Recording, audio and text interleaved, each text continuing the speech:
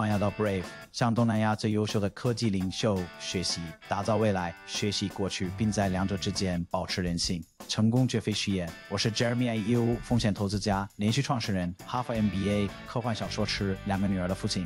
每周我们讨论创业新闻，采访变革者，回答听众问题，并分享个人见。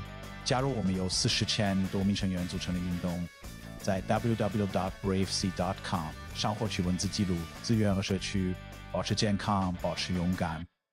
Jeremy O 和埃沃商务的首席执行官兼联合创始人 Ryan 讨论了 Roy 的职业转型，直接面向消费者 D2C 市场的挑战，以及埃沃商务成功背后的秘诀。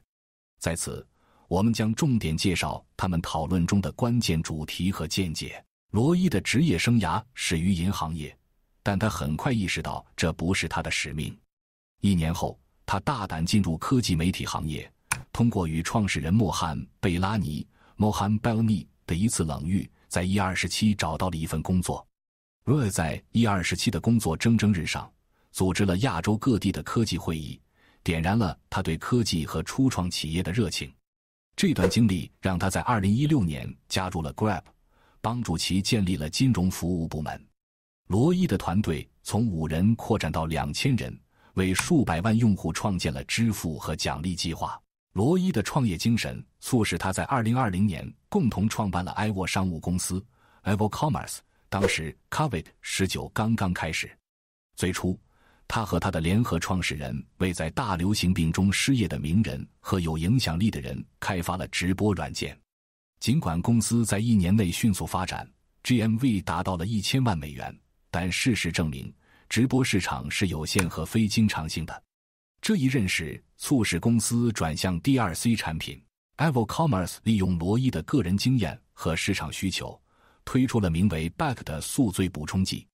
之后，他们利用自己在数字营销方面的专长，过渡到吹风机和卷发器等个人护理产品领域，实现了快速增长。罗伊强调，首先要从需求方面入手。并向 Prism 家的 Jonathan Tan 等经验丰富的创始人学习。从直播流媒体到 DRC 的转型，并非没有挑战。罗伊面临着投资者和团队的质疑，但他坚定的信念和适应能力是完成这一转变的关键。他强调了作为创始人的孤独感和精神压力，强调了支持系统的重要性，包括家庭和创业同伴网络。罗伊认为。保持工作与生活的平衡至关重要。他为家人安排了时间，并从社区中寻求正能量。他还强调，必须明确目标，并让合适的人致力于开拓未知领域。罗伊将埃沃商务的成功主要归功于对消费者需求的理解和满足。他分享说，第一款产品 Buck 解决了个人问题，具有明确的市场需求。这种创造贴近他们内心。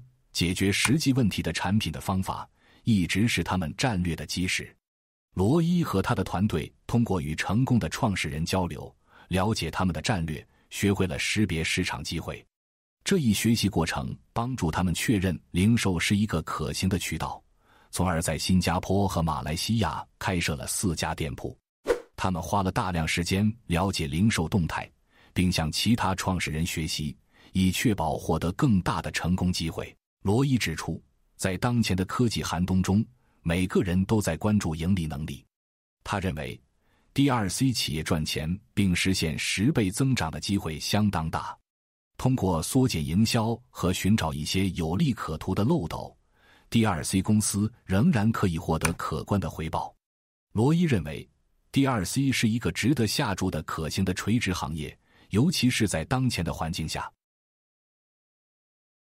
罗伊从银行业到科技行业，最终共同创办埃沃商务公司的历程，证明了他的适应能力和创业精神。他对 D2C 市场的洞察，了解消费者需求的重要性以及企业转型所面临的挑战，为有抱负的创业者提供了宝贵的经验。通过关注消费者问题，利用数字营销专业知识，以及向经验丰富的创始人学习。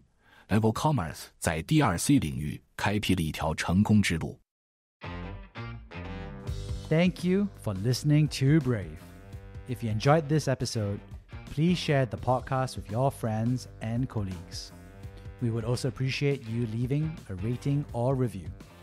Head over to www.bravesea.com for member content, resources, and community. Stay well and stay brave.